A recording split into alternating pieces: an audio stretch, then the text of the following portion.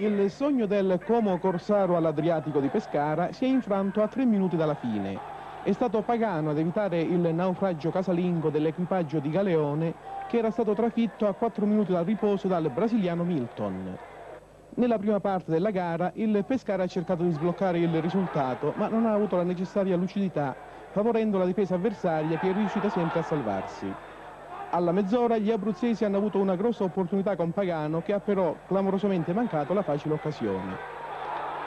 Il Como ha retto bene all'urto e si è rivelato implacabile in contropiede.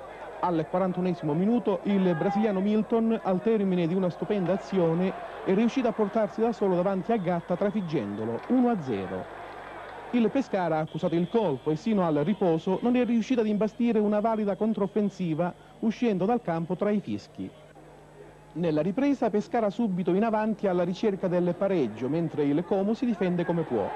Al diciassettesimo minuto la squadra di casa colpisce un palo con Ferretti.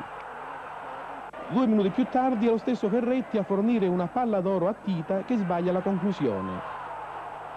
Il meritato pareggio a tre minuti dalla conclusione. Pagano sfrutta un errore di Maccoppi ed insacca 1-1 e i comaschi chiedono invano l'annullamento del gol per fuorigioco.